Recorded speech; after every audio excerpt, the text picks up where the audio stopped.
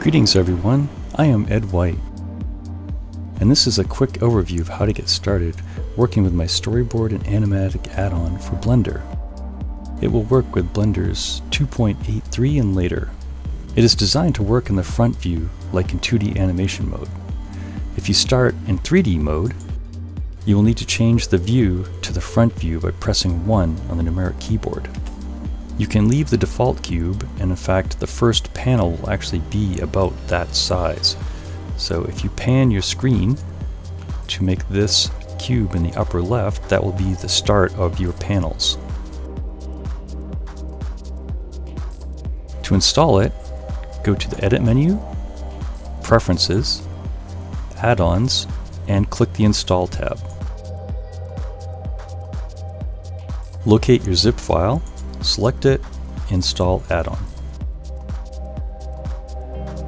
Activate it with a check and close the window. So it will appear in the Tools panel, which you can open by selecting View Sidebar or by pressing N on the keyboard.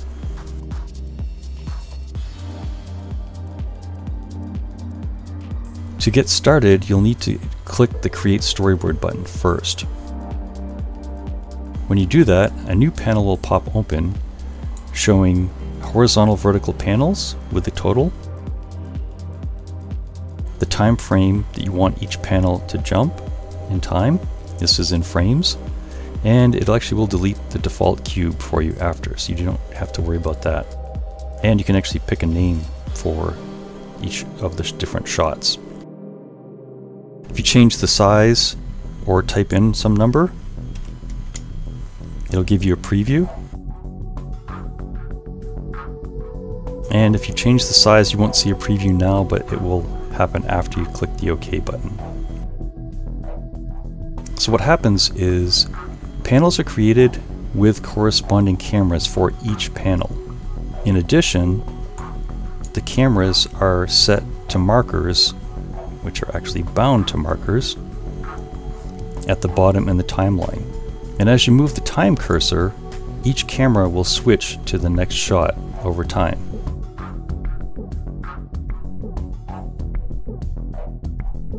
And if you play, you'll see each camera changing. If I change to a user perspective view, we can zoom out and we can see each of the panels and each of the orthographic cameras. The cameras are orthographic so that each pixel maps to each pixel on the camera. They're not a perspective camera, so you won't actually see any of the panels if the camera moves in or out of the y-axis. In the interface, you can select different cameras by pressing a button on this interface and it will activate that camera as a view. To jump into that camera's view, you can toggle the camera view with this button here or the shortcut 0 on the numeric keypad. When you're in this view, you can see that as I change images, the camera is changing to view that whole view. And you can zoom in and out as much as you want.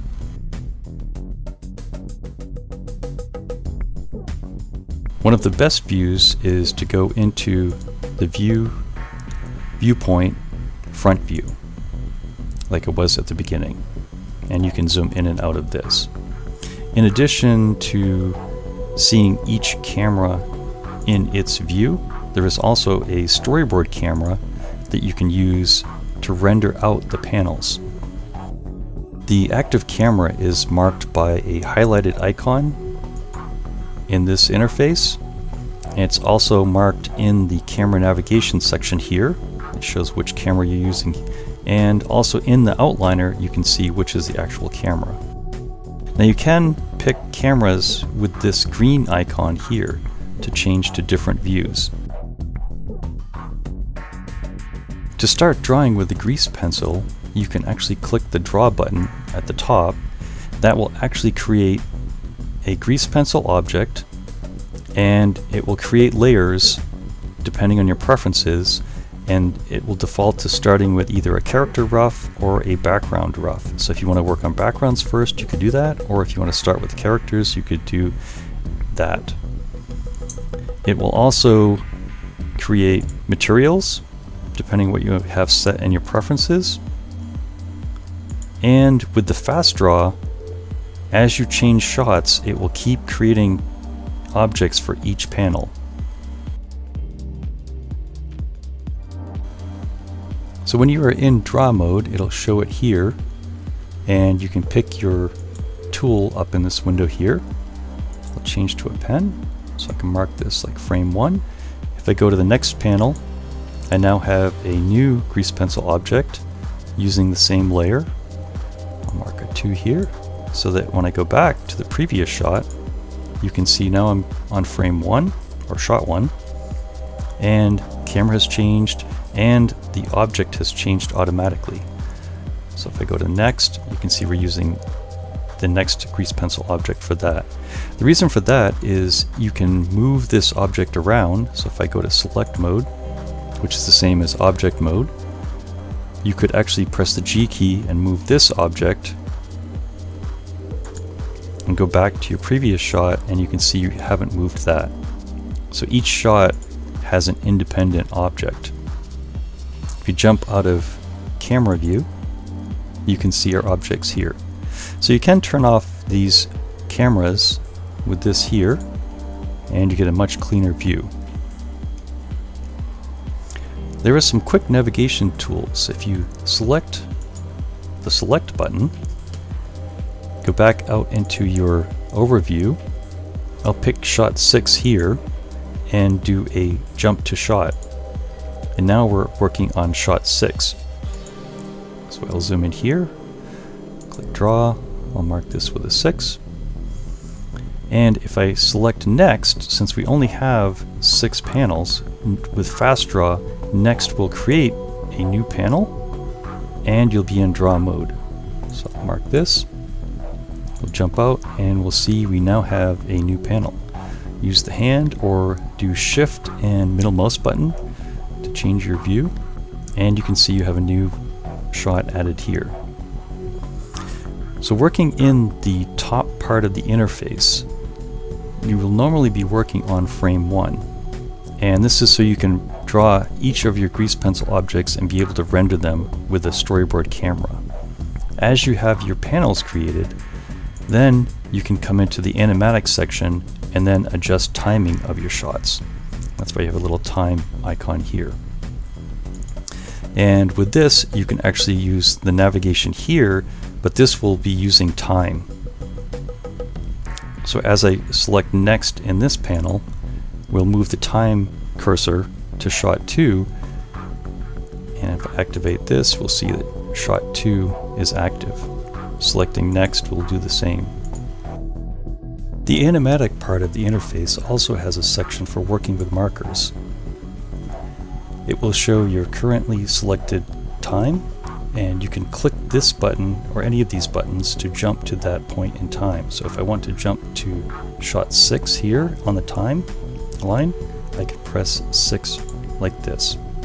And now if I pick markers to the right of that, it will be adjusting anything after that. I can also select cursors with this little checkbox here, which is a little bit easier than trying to select them in the interface. In fact, you can actually drag to select or drag to deselect. There is also a lock button that will lock the markers so you cannot select them either in the marker interface or in the actual shot interface. The shot interface will let you to jump around. So the lock button will lock or unlock selection. You can also filter the markers to be only cameras or regular markers. So if I actually were to come down here and make a new marker by pressing M on the keyboard, or in the marker menu, select add marker right here. And with that marker, you'll see that I have only cameras or markers will show that I have one on frame 110. And if I pick all, I can see the cameras and the markers. This is a great way to say that this shot I want to end here so then I can also pick shot 7 and then swap those two markers. So now shot 7 is actually timed where the way I want. And this marker I could delete or leave it there or filter it out. That's it for this quick overview. I hope you watched one of my next videos. Thanks to my wonderful patrons and anyone who's made a donation on Gumroad. If you've not downloaded the add-on, the link is in the description. Cheers!